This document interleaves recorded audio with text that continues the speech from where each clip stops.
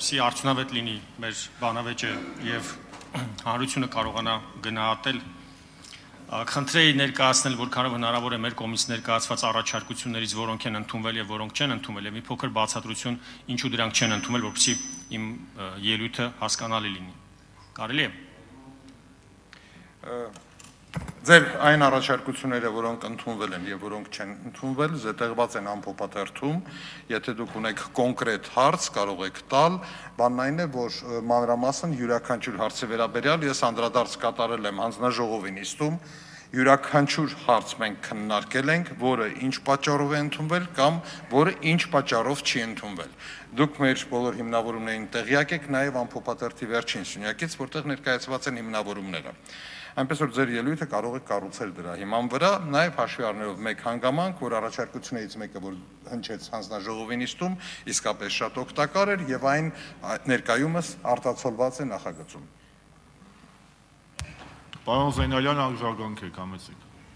Պարոն Շարմազանov, ես կխնդրեմ ինձ հնարավորություն տալ հարցի եւ ռեպլիկի, որովհետեւ չկարողացա հարցը ձևակերպել, մենք համաձայնության չեկանք։ Պարոն Ալիչյան, մենք առաջարկել էինք, որպիսի համանadrական դատանի կողմից բացահայտված համանadrերավական բովանդակությամբ կիրառվեն դատարանների կողմից այդ դրույթները եւ առաջարկել էինք դատական օրենսգրքի 13-րդ հոդվածի 4-րդ մաս ավելացնել այդ բովանդակությամբ։ Նաև առաջարկել էինք, որպիսի մարդու իրավունքների եվրոպական դատան եւ ընդհանրապես միջազգային դատարանների դատական ակտերի կիրառման մեկնաբանությունների վերաբերյալ դրույթը վերականգնվի դատական օրենսգրքի 13-րդ հոդվածի 5-րդ մասում առաջարկել էինք, որպիսի միջազգային դատարանում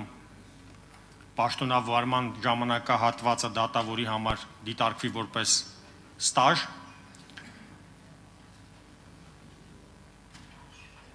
եւ նաեւ առաջարկել էինք որպիսի դատավորը ոչ միայն հնարավորություն ունենա գնալ արցակուրտի եթե նա կին է եւ մայրացել է, այլ նաեւ երեխային խնամքի համար կարողանա արցակուրտ ստանալ տղամարդ դատավորը։ Այս առաջարկությունն ենք ներկայացել, խնդրեի ձեր դիրքորոշումը։ Շնորհակալություն։ Ինչպես արդեն նշեցի, ձեր մի շարք առաջարկությունները ընդունվել էին։ Սկսենք վերջինից։ Վերջին ձեր առաջարկությունը հնչեց հանձնաժողովի նիստում եւ այն ընդունվեց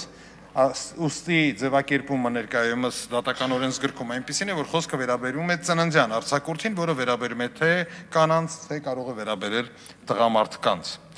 Երեխայի ծննդյան հետ կապված արձակուրդին։ Ինչ վերաբերում է ձեր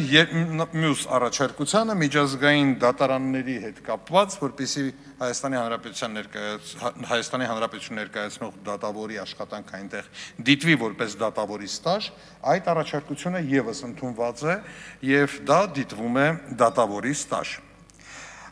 Ձեր մյուս առաջարկությունը, որը վերաբերում է միջազգային փաստաթղթերում զետեղված մարդու իրավունքներին վերաբերող նորմերին եւ դրանց պարտադիրությանը,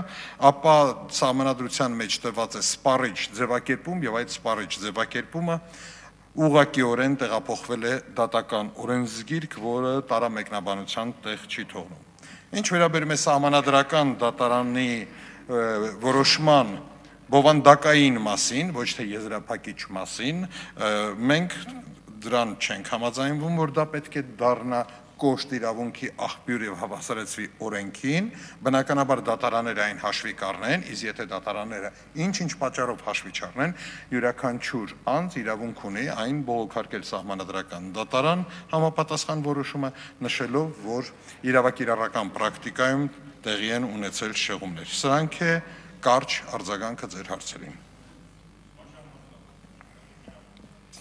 Արգելի պարոն Սենյալյան, այս անգամ բացառության կարգով իմ ընկերները ներողամիտ լինեն կտամ ձեզ, բայց դուք արդեն բաց համեցեք, խնդիր չկա։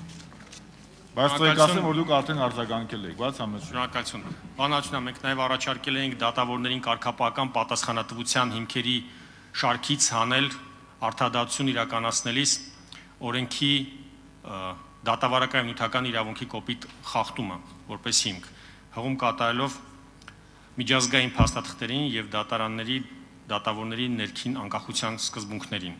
Այս առաջարկությունը ընդունվել է արդյոք թե ոչ եւ եթե չի ընդունվել, ապա ինչ պատճառաբանությամբ։ Այս առաջարկությունը չի ընդունվել եւ կարծում եմ շատ հիմնավոր ձևով։ այն ինչ որ դուք եք առաջարկում հետեւյալն էր։ Դատավորը կարող է ուղղակիորեն լինել անկախ նաեւ օրենքից։ Նա կարող է կոպիտ եւ ակնհայտ անընդհատ ոտնահարել օրենքը Եվ միակ լուծումը, որ դուք առաջարկում եք Հայաստանի քաղաքացիներին, դա այն է, որ բողոքարկեք վերադաս դատարան։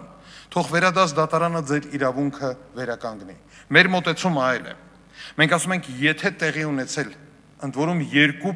պահանջներն ներկայացնում ենք։ Օրենքի ակնհայտ եւ կոպիտ խախտում, այդ դեպքում դատավորի նկատմամբ կարող է հարուցվել կարգապահական վարույթ, որտեղ դատական համակարգը պետք է ինքնամաքրվի եւ պետք է նաեւ մաքրվի այն դատավորներից, որոնք իրենց թույլ են տալիս օրենքի կոպիտ եւ ակնհայտ խախտումը։ Իսկ որpիսի սա չդառնա գործիք ընդդեմ դատավորի, մենք տվել ենք շատ հստակ սահմանումներ, որ դեպքում է խախտումը դիտվում որպես կոպիտ եւ որ չափանիշներին պետք է բավարարի խախտումը, որ դիտվի որպես ակնհայտ։